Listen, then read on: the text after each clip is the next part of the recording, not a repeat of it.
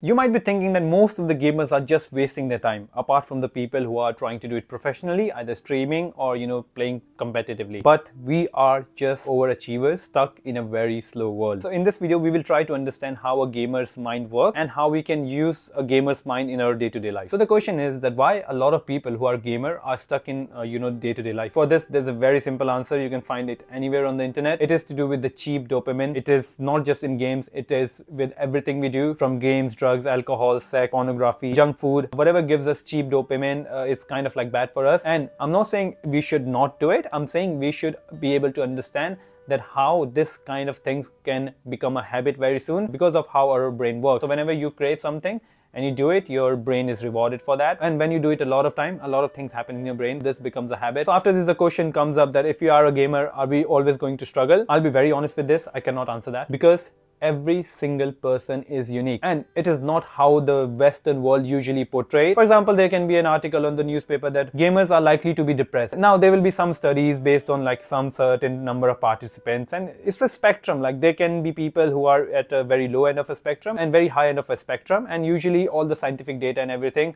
are you know a mean result in a way. And the news articles and everything you saw are just clickbait. They want you to click on that because we are kind of triggered by fear and we want to know like oh what is happening. And when you read these kind of things and i'm not saying it's true for you or me it's just like it's in your brain. Like it is a negative emotion we are consuming. And it comes down to self-awareness that if i'm letting that article affect me in any way or not. And the main thing is that you are unique you control yourself. So the question we have to answer is that what can I do if I am a gamer or I was a gamer? You know what is the best thing? Why don't we apply the same analogy of a game to the real world and just play it? All we have to do is not think about the logic. So this is the problem with our world right now. We are all kind of, you know, trying to find the logic. We are trying to find the logic that why things are the way they are and people can go on debate for I'll say weeks or even years. And I think it has gone for decades and centuries. But there's like, there's no right answer to it. We can believe in something and it's completely up to us. But we kind of know the basic logic of the game and all we have to do is play it. And now the idea behind this analogy is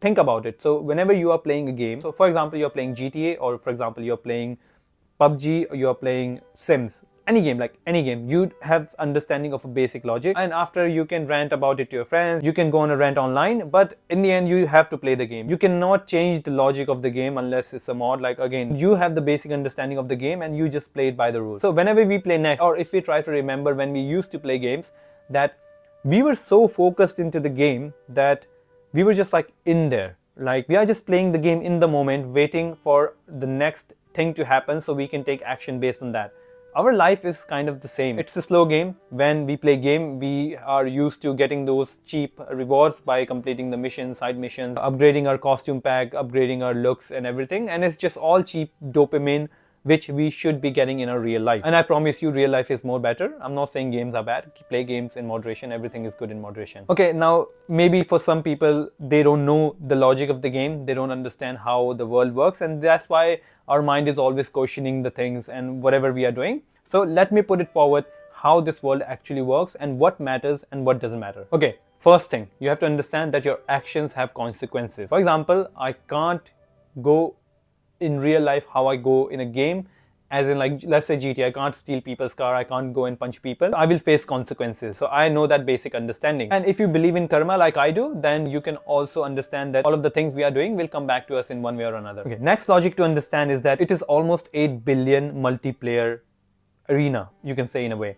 So every single player is different. We don't know what they are planning. Uh, we all know what they kind of like think about us. Uh, maybe kind of know that there are some allies, and it's completely up to us, like our personality, who you want to make allies with, and who you want to make enemies with. So that is the basic thing. And we all are born with different inventories. It's completely random. Let's say that wherever you are spawned, you get random resources allotted to you. Now, the third thing to understand is that it is a very, very long game in terms of, let's say you uh, will live an average life. So the more you think about the length of the game, the more kind of it's get overwhelming.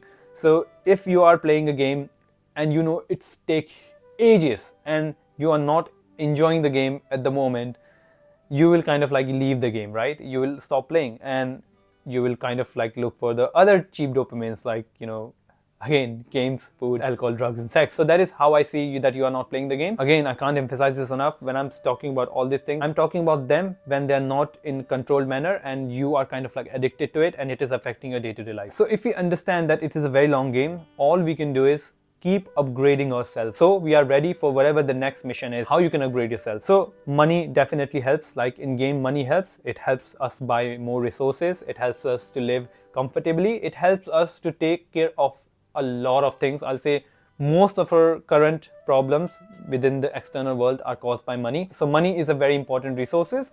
But there's another thing which you can upgrade are skills. So in games, you upgrade your skills by performing certain things. Let's say, for example, you remember in GTA uh, San Andreas, there was a mission where you have to learn the flight school thing. So you keep doing things and you upgrade your skills. You keep going to gym, you upgrade your body. You keep reading, you upgrade your mind. You keep doing things, you will keep upgrading yourself. And the main thing which we have to understand what we do when we are playing the game, we are playing in the moment. If you are very used to the game, you, your mind might wonder why playing the game. But most of the time, when we are in a game and it's like a mission, you are constantly there. You are always completely focused that you don't even realize what time it is, if you have eaten or not, your house is burned down, does not matter. You are so focused in the moment. So this is the key. This is the key to win in life. Uh, if life is a game, and not win, let's say it's a marathon, and all you can do is like keep upgrading yourself and you have to be focused this is the main point from all of this analogy try practice that in your real life. Think that you are in a very very high graphic simulation of whatever and you understand the basic logic of this life. You know what your resources are how much money you have in your account what skills you have what knowledge you have. If you think you have all the knowledge that is arrogance that is ego take that throw that out of the window you can never read too many books. If you think you don't need any gym and you don't need to do any sort of fitness activities, think about it again. You can always go for a running, you can always do some push-ups. You can always kind of upgrade yourself even if you think you are enough in that field. Now I completely understand that there can be many situations where you are stuck. Remember that mission in Vice City?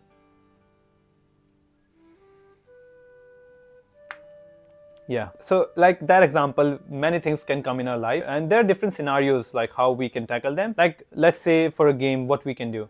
Either we can try different strategies, we can try different weapons, different resources if you're trying to defeat a boss, this level's final boss. So in real life, when you face any circumstances, you can try to tackle that issue from a different angle, try to compromise in some way or another try to you know let go of the money for example uh, you are upgrading your inventory to kill the final boss so in life, sometimes you have to understand where you're spending your money. If that thing will help you to successfully complete your mission or not. Or you can try to always keep pushing on. Uh, there have been many instances in the game where we have been trying to kill a certain uh, enemy or we have been trying to do a certain mission, but we fail, but we keep trying, trying, trying until we finally do it. So those things can happen in life as well. Like for example, applying for jobs, applying for different universities, or even looking for relationships. And there's one more thing which you can do is come back to it later. Open world game, we have different sort of missions. It's not like a fixed issue that if I don't do this, like nothing else will happen. We have different uh, sections in life. So if you feel like you're stuck in some place, so if you're always thinking about that you don't have a partner, you are not in a relationship, and you are still young, you can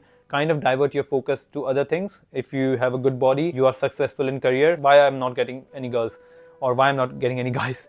So best thing you can do is upgrade another thing. Try focusing on your mental health. Try focusing on upgrading your skills. Start reading start attending events. You can try to search for different events online either in your career field or you can look for events which kind of go along with your hobby. So maybe you like photography and there's a photography walk group who is going for some photography. You can join them. Maybe who knows you will find your partner there. We have to kind of understand that if you keep focusing on one mission in a game you'll exhaust yourself and then you'll just give up playing best thing is to do is like take your time you know do other missions. Life is like that. Like this game works like that.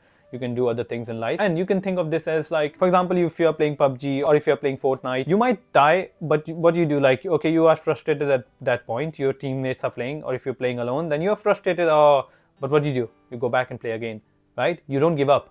You should never give up on anything. And never giving up for me does not mean that i'm going to push myself to a limit where i know it is not good for me. It's all about understanding ourselves and it's all about understanding why we are failing in that thing. And that is a completely different topic in itself. And i have made a video about that. If you are interested in that topic that why do we keep failing? That video will be on your screen right now. And if you are interested please go and check it out. I will see you in that one. Goodbye